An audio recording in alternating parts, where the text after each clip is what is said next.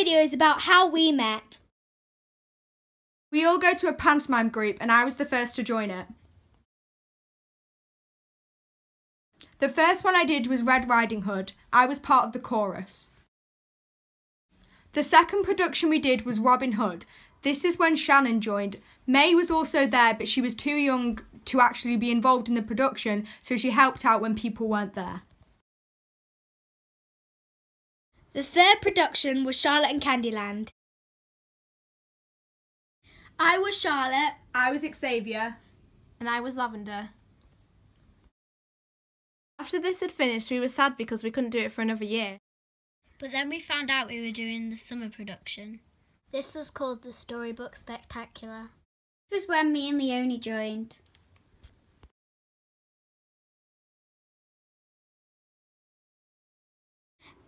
At this point, we were all together.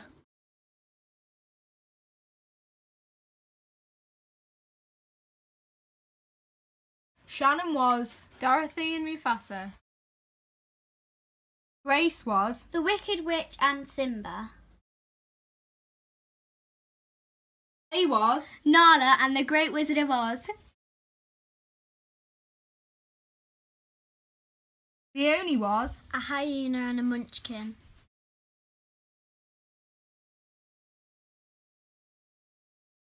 He was Belle. Our most recent production was Peter Pan. Shannon was. Wendy Darling. Grace was. Peter Pan. May was. The Lost Boy Tootles.